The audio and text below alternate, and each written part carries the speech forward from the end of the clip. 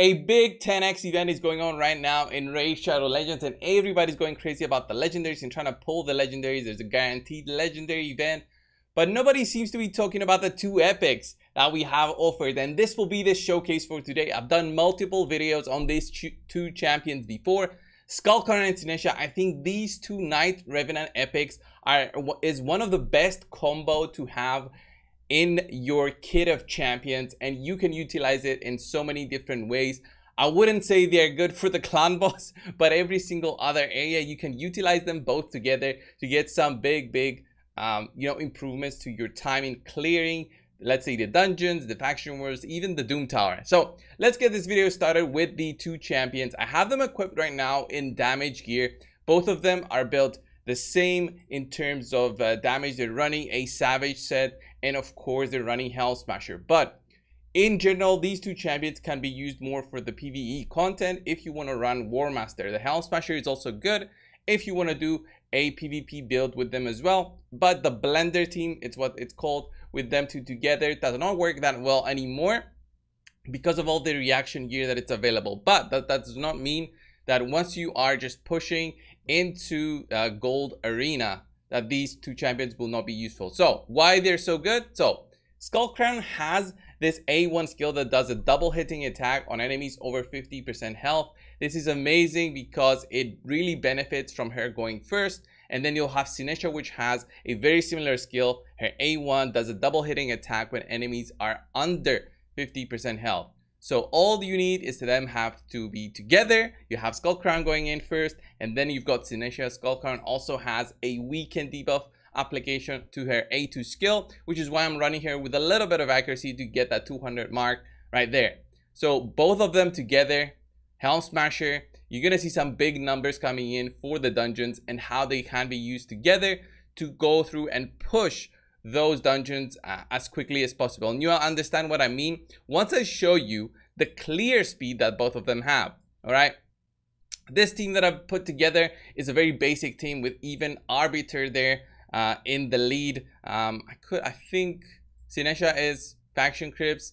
I think the same way for Skullcrown, this is Arena. So uh, there's no speed lead that I can use. I've got a defense down that can do weak hits, so we might see some um, no defense downs on the enemies, but I'm still running with this one as a very base team to have. Dark Hell is there only basically for the boss. So the idea is to utilize Skullcrown and Sinesha together to get some big damage numbers for the waves to clear them. Let's say you don't have anything such as, uh, you know, Seer and Seer makes the clearing of the waves very, very quick. So let's go and have a look at how this is going to work for, uh, for this part, right?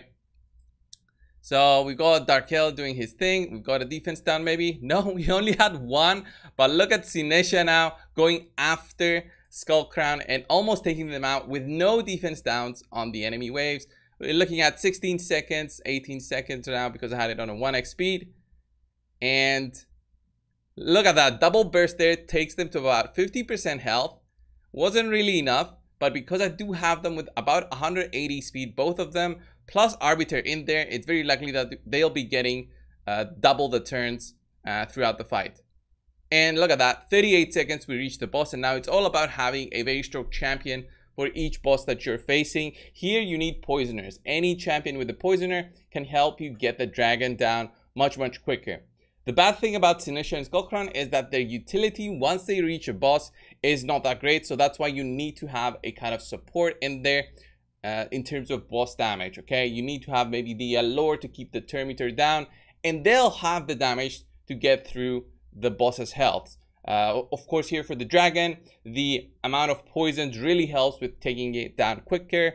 This doesn't really work with other bosses, but an amazing, amazing combination of those two together to get the um, the waves done quickly, quickly, and just reach the boss. So, um, We'll see the overall damage in the end. We see the unkillable proc from Skullcrown. An amazing kit for both of these champions. And I actually have for Sinesha her skills locked out. I want her to just be doing her A1 skill. I don't care about her healing. I don't care about her equalization of her HP. That is a very good skill to have probably for faction wars rather than anything else. But for this one, I'm just running her for damage. And Skullcrown does not have anything uh, of her skills locked. And you see there, 1.3 from Skullcrown, 1.2 from Sinesha. And Sinesha is not even an attacker. She's a support if you look at her tag. So her multipliers and her base stats are much lower than Skullcrowns. And uh, let's go and have a look at a different dungeon, which might be a little bit different. So let's say the Fire Knight. Uh, Fire Knight has much stronger, um, much stronger enemies for the wave. So again, we're going to be testing the power of this. I'm going to put in there the Alure, which I just mentioned about her being the one that enables uh, the the killing of the boss because you'll have the Terminator thing basically locked down, right? So we'll we'll test this team out and see how it works with just the um, the built out Alure. Alure is built very quick, but still you can have her. Anything above 220 speed is fantastic for this kind of thing. Look at that, eight seconds. We go through wave one.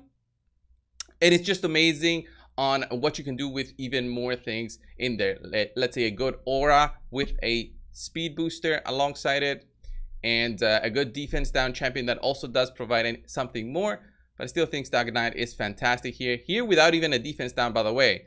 We got the waves because Stag Knight used his defense down during wave one. So we were just going in with the power of uh, Skullcrown and Sinesha. So 38 seconds again to reach the boss. A fantastic time for this specific encounter for the Fire Knight. Fire Knight is notoriously the toughest one because of how much different it is than all the other bosses because of the shield, the way that it works. The, the waves are just tougher, higher defense, higher HP than all the other bosses. And here with the Lord, we just keep the Terminator down. Look at that. Beautiful with the speed down as well from Stag Knight. And this should be a, a pretty solid run with controlling the Terminator and then having the hits coming in from Skullcrown and Sinesha. Again, the bad thing is, because of the, the Helmsmasher, we don't see um, we don't see the Warmaster procs that that would have helped in terms of damage. But look at Sinesha's A1 skill with the attack up. She's doing about 80,000 per hit on her A1 skill, which is amazing to consider uh, that she is, again, a support champion. Look at that, 64, 77k. And she's only with the Savage set. She's not even with the Savage Cruel set combo. So look at that, 1 minute 35, a very, very solid thing to do. And it was just basically Skullcrown Sinesha showing their power. Alure there was just for the Terminator if I let's say you don't even have Stag Knight, right? Let's me let me just remove Stag Knight as well from there. And um, I wonder if I just run the two armigers there, if this is gonna be uh, let's say where is my other armiger? Just to show that even if you don't have a Alure, you have these two champions, you'll be at a very good position. Two armigers, not so many people have two of them. And my armigers are built um, quite good but still, let's see if this works and if I can manage to get it down. There's no multi-hitters in this team, so it will be a little bit tough, but we do have a reviver, so we'll see how that goes. And look at look at Sinesha there. Even without a defense down, we're doing some work, which I'm okay with. Sinesha should go next. Look at those extra turns, come on. Uh, even if we go low, we do have the Reviver uh, being Arbiter, so that's great. 26 seconds, this was way longer, but it's fine. Remember what we're trying to do here. Uh, we don't have a defense down, which is gonna suck, but still, we have a weaken, probably from Skullcrown. Wow, look at, talk about extra turns there from Armiger. And look at that. Counterattack because of the defensive masteries. That is exactly why I took it. There's the weaken. We want Sinesha now to do a double hit. Look at that double hit. 27 plus 28k coming in from that attack. And then Skullcrown does it. A minute, so with no defense down, uh, it was still a very good time to do. Although they do have very good gear, right? The Savage gear is not that easy to get. I understand that. But even with mediocre gear, you have to remember 20 seconds, 30 seconds more than this. It's still a great time to clear these. So boom, Armiger gets gets lucky but doesn't get lucky because double the double resist there. I don't even know how he got a double resist. I thought he had enough accuracy in that build. Um, let's keep on going. Maybe maybe the one that doesn't have so much accuracy. Maybe it's that one. Okay, that one does have accuracy. This one doesn't doesn't look to have accuracy. Maybe it's the one I used for dragon. Uh, so he does the uh, A2 skill and does a lot of damage to that. Yeah, he definitely doesn't have any accuracy. So again, you see how this works. Um, you just build them with a little bit of accuracy and you'll get through. It's a fantastic combo of them together to clear the waves. They work great for arena too, as long as you don't face so many enemies for arena, which have the reaction gear. Reaction gear is what has the chance to do a weak hit against the enemies. You don't want that happening. You actually want to be uh, landing those crits if you're uh, running a speed team that goes first and does those uh, big crits. So let's refresh here. Let's have a look at the Blender team again. So Arbiter, Sinesha, Skull Crown, and an ally attack champion. We do have the Fusion coming in, which is going to be an ally attack champion. Not as good as Firekin for that specific role. I would say he just gives critical damage up. Firekin provides critical damage up and critical rate up, which is amazing to just even lower the amount of gear needed for them. Right now, I have them with some speed, which is not what you need. You don't even need speed. You have them with attack percent as much as possible.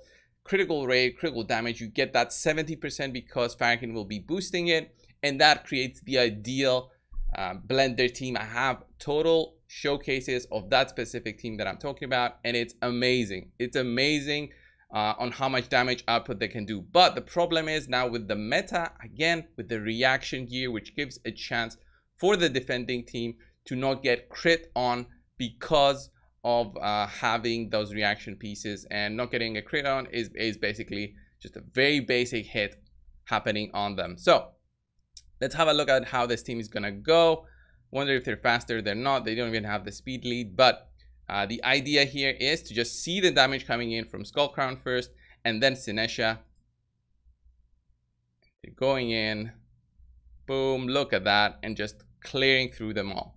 Uh, the good thing about this this combo of two champions together is that they work great with an ally attack champion and they work even better for let's say the Doom Tower where you give both of them stun sets and that AoE attack with the stun gear is just an amazing chance for you to just stun all the enemies and establish control, especially when you're trying to push for higher Doom Tower stages where, uh, okay, you understand that uh, you don't probably have the, the, the gear to do it, but you do have stun gear. If you do have stun gear, you can establish control very quickly when pushing through and trying to beat harder and harder stages of the Doom Tower. So you build a very similar, similar team to to the one I showed. Oh, yeah, this is my uh, Doom Tower presets, but you built Arbiter there, Skull Crown, Sinesha. If you've got an ally attack champion, that's great. You maybe build another stun champion. In there, you got three champions that can possibly stun, and then you got another champion in there for some extra damage,